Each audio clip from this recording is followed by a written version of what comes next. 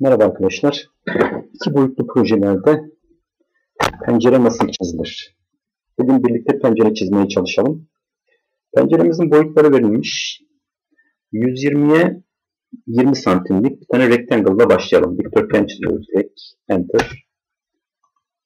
120 x eksenin üzerinde virgül, y eksenin üzerinde 20 birim.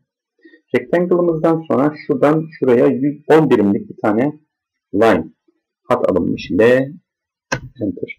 Şurada azıcık bekledikten sonra extension'ımızın açık olması lazım yalnız. 10 enter diyoruz. Karşısında diki gördük. Perpendicular'ımızın da açık olması gerekiyor. Evet. Endpoint, midpoint, extension ve perpendicular. Bunlar olmazsa olmazlarımız şu anda. L enter'ımız. Şuradan azıcık bekledikten sonra 10 enter yazıyorum. Karşısında dikini gördüm. Escape'le çıktım. Rectangle çiziyorum. Tekrar küçücük şuradaki 2'ye 4'lük rectangle'ları çizmeye çalışacağım. 2,4 x eksenin üzerinde 2 birim, y eksenin üzerinde 4 birim. Bir kere daha çizeyim aynısından. 2,4 enter. Şunu aldım.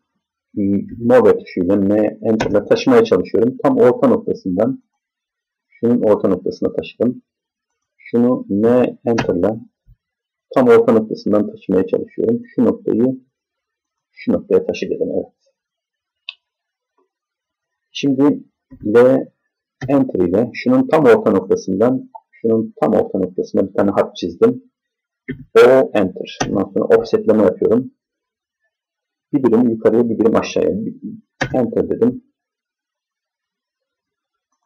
Bir birim yukarıya bir birim aşağıya offsetimi yaptıktan sonra şu kılavuz çizgimizi silebiliriz artık. Hemen altına yazısını da yazalım. 2 dimensional penceremiz.